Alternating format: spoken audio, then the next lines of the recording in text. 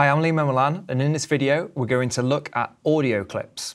So there's two different types of clips you've got in Ableton Live. One is MIDI clips, where you have the notes that feed instruments, and then we have audio clips, which are basically audio files, which you could have off your phone recordings, or you can have from DJ sites or sample packs. Um, and once they're in Ableton Live, they're within the clip environment, so we call them audio clips. So at the moment, if you look on my screen, I've got a couple of uh, audio clips already in place as part of this small composition. Um, and as you see, when we double click them, um, you get the, uh, the audio clip editor up. So you can see the waveform of the audio to edit or loop in different ways uh, from this viewpoint. So we're going to bring in a new loop to go alongside this. So there's a couple of things we need to be aware of when we're doing this. So first thing is we need to go to where we're going to find our uh, audio for our clips. So I'm going to go to the samples folder and based on what I've got already, I'm looking for something percussive to go as a, a layer on top of some existing drums. So I'm going to go to the search uh, box here and put in loop and then perk. If I just put in loop, it will give me lots of different loop um, audio files, but they could be synthesizer loops, percussive loops, drum loops, uh, exotic effects loops, all sorts of things. So we need to narrow it down a little bit more.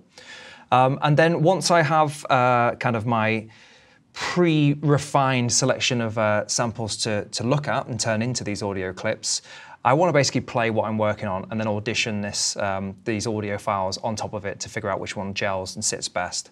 So I'll play this, and as I go through, I'm going to click into the browser and use my arrow keys and the preview switch here enabled to allow me to hear these different potential files on top of my existing work.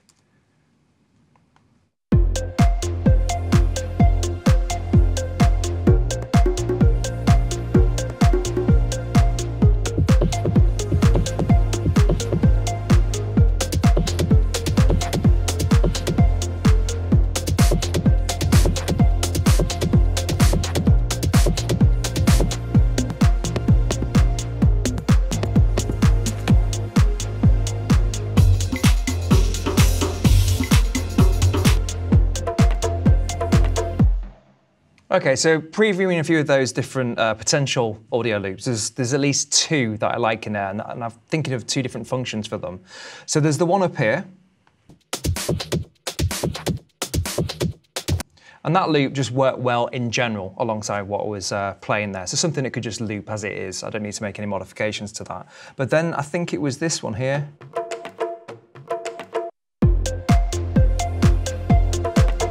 Yeah, that one there, that's one that I want to bring in, but also mold a little bit myself to fit better within the context of what I'm creating. So um, it's really simple to get them into your project. I can double click, I can double click those, and then it'll load that in to um, the track for me. Now in that case, if I go back one, that's actually overridden an existing um, track that I've got with a loop in there. So instead of double clicking this time, because it was not an empty audio track I'm dragging, um, loading it to, I'll drag that into the empty space to the right, and then that one's loaded in. Just pull that alongside the other clips so they're in the same scene, the same row.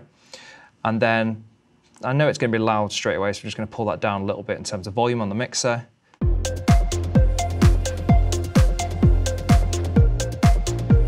And that adds a nice new depth to the, the existing sounds that I've got. So the other loop, let's have a look at that. So we have, that was the one. So we'll drag that into its own audio track there as well. And let's have a look at a couple of the immediate ways we can modify this to try and make it or explore where it might fit better within the context of this uh, work that I'm doing.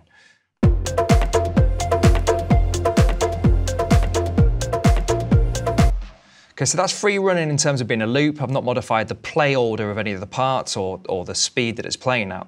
There's a couple of controls within the actual um, the sample editor that's down here, where I can modify the tuning of the loop.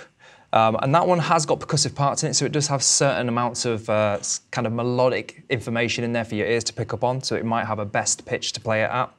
And we can also play around with reversing the sample um, and also changing the kind of the nature of the rhythm that's in there too. So first I'm going to do the transpose function, which will change the pitch of this.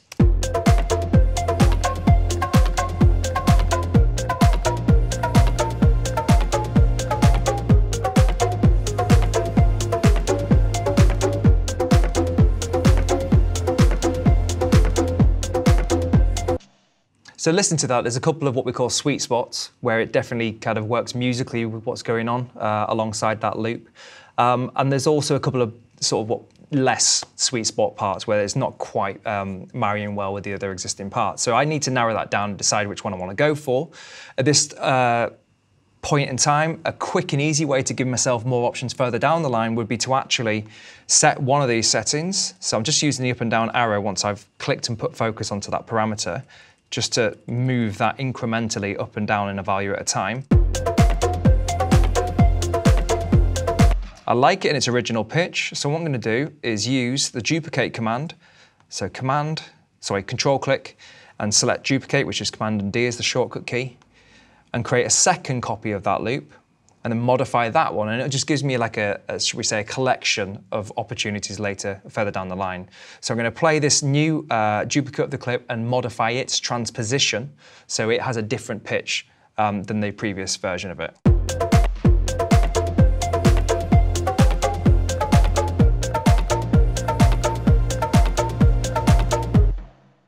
And then do the same again, duplicate that.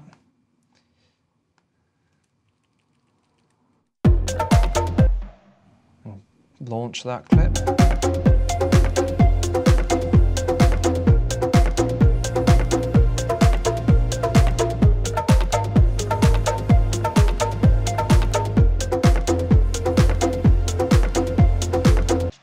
Okay, so it's a quick and easy way of taking one audio clip that had a potential to do a few different things within my project and then give them slightly unique properties. So that's transposition. Uh, the other option is to reverse the sample, so I can again make a duplicate of that original or the last audio clip that I was using. And then there's a little reverse button here, or the shortcut key is R to do this as well.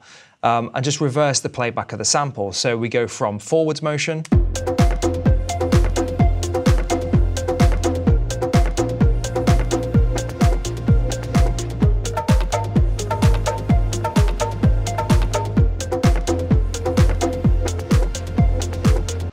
So really simple ways of just giving ourselves various uh, access to the same original material. So this is in the context of staying in session view. Um, when we want to actually look at reordering the playback within a single audio clip, we need to leave session view. That's not what it's there for. Session view is to play a clip one at a time on a track, and any edits that you may want to do within that need to happen over arrangement view. So I'm going to do that now with the first clip we're going to drag that over into arrangement view so we can cut it up and start reordering the, the information that's there. So the shortcut key is really important here between session view and arrangement view. So with the cursor, we click here to move between the two views. But when we're doing a drag and drop, which is what we're going to do now, we're going to click and hold that audio clip. We're going to hold down the tab key, which will move us into arrangement view. And then as long as I drop it on the right track, which is the last track called six loop at the moment, we drag that at the beginning. And although playback is still technically going to happen in session view at this point, we also have a copy of that audio clip now ready for us to start modifying in arrangement view. So one last thing to note before we get stuck into editing this in arrangement view is the playback behavior, as I've said, is still playing from session view right now for all those clips.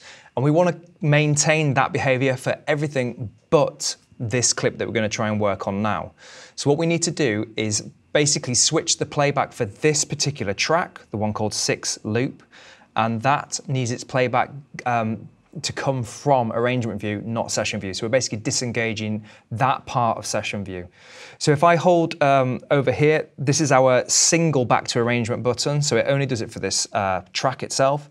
And then you'll notice that the audio clip in arrangement view is no longer grayed out, which means that now we are hearing that. At this stage, it'll sound the same because it is the same. It's a duplicate of that original clip in session view. But once we modify it, we can hear the, the modifications we're, we're making.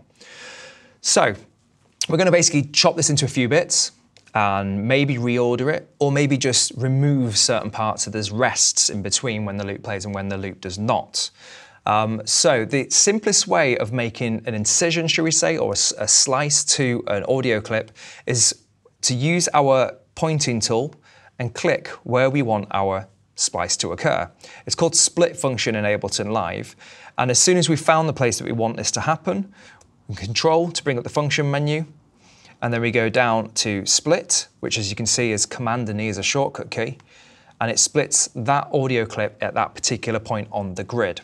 Now the grid's an important thing to be aware of here because depending on how microscopic you want to go with how many divisions you want this uh, audio clip to, to have, you might need more grid lines to appear so you can you know, make those split, um, splits happen within the audio clip. Um, so by default, if we move over to the grid section here, we have snap to grid, which we can turn off, and that means everything's freeform. We no longer have that kind of quantized behavior where, where we click is snapped towards the actual, the lines. Um, and what we want to do is change the actual grid size. So if you look on the menu here, it says widen grid and narrow grid. Now, the command keys for that are command 1 and command 2. 1 is narrow and 2 is widen. So if we're in already and I start changing these values, you'll notice the division line changes in the bottom right here. How many times this timeline is being divided and therefore how many places you can click to create your split. The splitting function, or should we say the resolution, so the amount of divisions that are available, is also zoom specific. So we can go to the top of the timeline, click and drag and move in, and you'll notice more grid lines appear for you to be able to click on and make these splits to. So that's when you want to get very microscopic and, and, kind of chop things up a bit more. What I'm actually going to do is create a few more splits. So this time I'm going to use Command and E just to speed up my workflow a little bit. So I've clicked here, Command and E, clicked here, Command and E as well. And then let's make a, just let's half those as well. So it's half a bar, so two beats per split. Now at the moment it's split, but the playing order, the nature of these has not changed at all. So what I'm going to do is actually introduce all of these clips once I've looped the area. So first I've highlighted the play area on a workout and arrangement view. So it's, if you look at the timeline, it's four bars of, uh, of, of time. And then I'm going to control click and do loop selection. So now when I hit the space bar,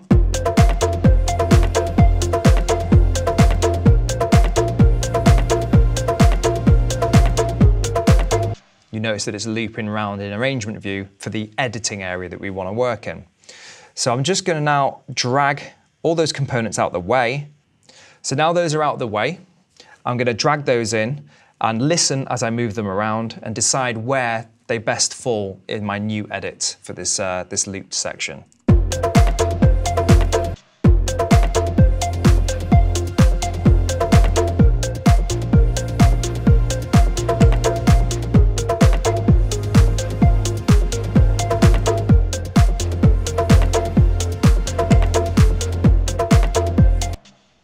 So pulling off a couple of the techniques from before, just quickly grab that one there and press the R key to reverse it. And that should give us like a, a pulling feeling towards this loop beginning again.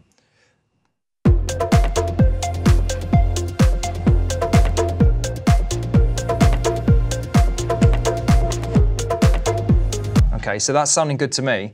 Um, the only other thing I want to do, again, borrowing off some of the things we already covered, is just transpose this one to be up a little bit or down a little bit to, again, create some sort of variation. Okay, so that's fine in arrangement view. At this point, if I wanted to, I could highlight the bits I don't want anymore and just hit backspace to remove those. So I've got a clean kind of uh, sequenced of, um, collection of audio clip edits. Um, however, if I want to go into session view again with this new version of this loop, I have to commit it to a new audio file or an audio clip in the Ableton Live environment.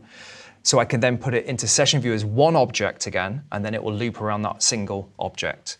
So I'm going to highlight all the bits I want to, what we call consolidate, and then control click and choose consolidate.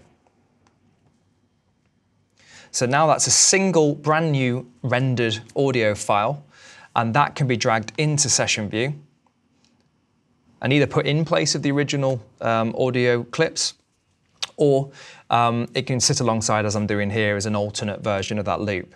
The only thing to be aware of when we're doing this process is session views loop orientated, and when we consolidated those edits and put them into a new file, the looping function hasn't been automatically enabled.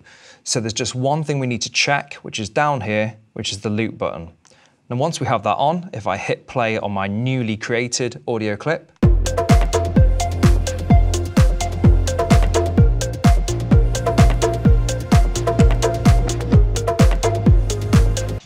We've taken the audio clip from there, put it into arrangement view, modified it, re-rendered it into a brand new audio file, and then brought it back into session view.